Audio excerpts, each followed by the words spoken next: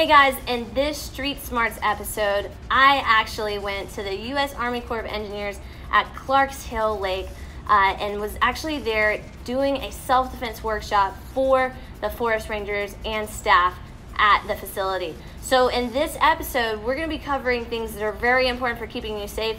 You don't want to miss it. Stay tuned. And a lot of times you're walking into situations that you don't know what exactly is going on in that moment. You're having to deduce, okay, what should I be doing with this group of people? What should this uh, scenario that presents itself, what do I do with that?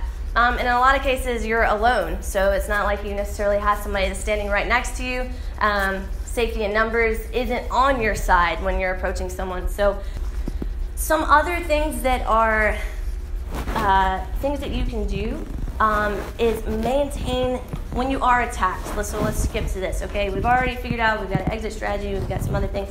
When you are attacked, one of the main things that you've got to be able to do is maintain your balance. This is one of those things that I was saying earlier. It seems like okay, that's that's you know something I think I would maintain my balance, but one of the key factors for you surviving is not to be on the ground.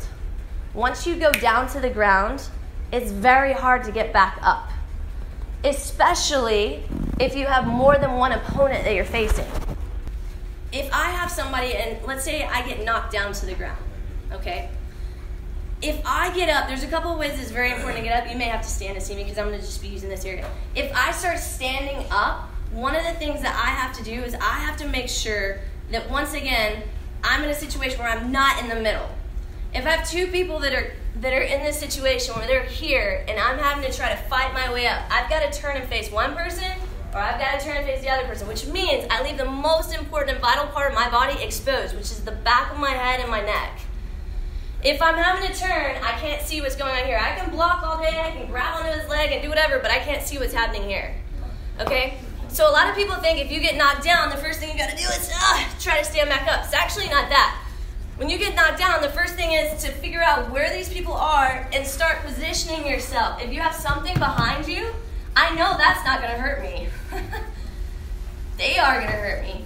So if I can get here and I can start working my way up, now I can start going, okay, who's the next person that I have to go after, I have to worry about first? All right, so just remember that scenario I was telling y'all earlier to make sure that you're able to divide out the people. That's what I'm talking about, being able to do that. The other thing is, if I'm down here on the ground, I'm like, I should just stand on that side, don't I? If I'm down here on the ground, the worst possible way that I can stand up is coming forward to my knees. Although that seems like something that you would do, right? We all stand up like this, we get off the ground, and I'm doing it very gingerly to make sure I don't hurt my foot. Um, and I stand up like that. But in actuality, one of the worst ways you could do to stand up out of a scenario is that. Because whenever you're doing that, I'm occupying my hands. They're on the ground. The second thing is, is from here, again, I'm exposing vital areas. My back, my neck is exposed, my body's exposed to kicks. So when I stand up, one of the things that we teach people how to do is we actually teach them how to stand. That seems really weird, but we do teach them how to stand. We teach them how to protect themselves here, keeping their hand up. This allows me to block. And then we start teaching them how to back away here. So I'm still in a movement pattern and I'm getting away. Thank. See, I told you all you had to do was stand. so, as you guys are going um, and you're learning, these are some things that you can just practice at home. Go from here. You can start with putting two hands on the ground. And it's kind of like learning to just take your feet and hopping your feet backwards like this. Once you got that down, you can actually do it just with one hand and use your other hand as your blocking hand. Okay? So that's a pretty easy way to work on standing back up. Now, the last thing uh, that we're talking about um, if you get taken down to the ground, getting up is your most immediate priority. You don't want to end up in a situation where you're still on the ground. Finally, after you've gotten up off the ground, you need to get out of Dodge. You just got to leave this situation, this scenario. And I keep saying that a lot. Um, I'm sure there's plenty of YouTube videos that you guys probably have seen before of people that are in fight scenarios and someone tries to take their bag or their purse or somebody comes by and pushes their girlfriend and so then they just start fighting. They've also got plenty of other YouTube videos where there's another attacker that's further away and they never see that other person. So they engage with that one person to try to win the fight. instead of just walking away and then all of a sudden they get knocked out, they get beaten up because somebody else is coming along. So I can't stress enough that it's not about winning, it's just about surviving. And it's about getting home to your families at the end of the day. The problem that I have with a lot of people, especially with women when I teach self defense, is, and even with adults, at, uh, when we're doing competitive martial arts, we see this a lot with adults, with kids.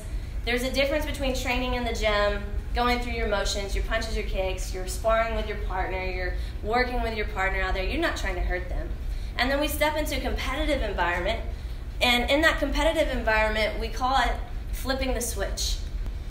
Which means that this person across from me is trying to do me harm. and I'm trying to do them harm. If I don't flip that switch, then I won't have what I need to go out and do the best in a competitive environment. Likewise, when I bring this back to self defense, what I see is that a lot of women and men as well, but a lot of women have a problem being able to flip that switch in their head. So, at what point do I go, this conflict is escalating? That's the thing that we have to determine. Because is it when someone's actually hitting you? Or trying to rob you, mug you, whatever? Is it when they pick up a bottle and put it in their hand and they have the bottle and they're about to break it over your head? Is it when they start walking towards you and entering the space? You have to start going, okay, when do I flip this switch? At what point do I go, that's not okay? And one of the things that I always encourage people to do is when you get that feeling inside of you where your adrenaline starts pumping and your heart rate starts going up, that's the point. Because at that point, you've already determined in your mind that you're in imminent danger. Now here's the here's why people don't flip the switch. Well, this is this is a lot of women will say this. Well, I, you know, what if I'm overreacting? You know, they're gonna look bad at me. You know, I'm overreacting to the situation. And then likewise, what I've heard from men is, is well, I don't want to escalate the conflict past what it is. Maybe they're just, you know, drunk or whatever they are, and it could be worked out. In both of those scenarios, yes, you could escalate it, or you could be out of line. But what if you aren't? what if you needed that split second to save your life? What if that split second was the determining factor between you walking away or staying on the ground and them finding you later, right? So when you get that feeling inside of you, here's some things that you can do right away. First off, those of you who are out here that are wearing badges, that's great. You have a symbol of authority. Most people don't know what that symbol of authority is, but it it's a badge. Like they just like, okay, it's a badge. Stop. Stay where you are. Okay? You're using your voice as a command. If you were not using your voice as a command, hey, stop, don't move anymore. Just stay right there, stay right there. I'm not commanding anyone. One of the things that they do in the police academy is actually teach you how to use your voice. And one of the things that they do in the military is that as well. And one of the things we do as martial arts instructors is we teach our instructors how to use their voice. Being able to command someone, stop, don't take another step, you need to stay there. Show me your hands. Having that voice being authoritative, even if you don't feel like it, fake it till you make it. you might be going, oh my God, inside, or oh, this is about to go. I'm, I'm, I'm getting ready. Let's go going down. Whatever your reaction is, you don't need to show that reaction. You just need to channel it through your voice. And that's a very important. Even if you don't have a badge, I'm working with women all the time. We just uh, we just shot a, a self defense situation on a carjacking. You have somebody approaching your vehicle, and you're not sure who they are, what their intentions are. Do you just let them walk by you? Most of us do, because we don't want to be rude. We don't want to upset the apple cart. Hey, stop! Uh, you move over there. I'm sorry, you're too close to my vehicle. If you're a mom and you got kids, that's easy because you're like, my kids are in the car, right? Or whatever you don't even have to have that. You can use your voice. What if you're wrong? So what? You made someone upset, they're going to rant about it later on social media. You won't even know them because they're not your friend on social media, so it doesn't matter.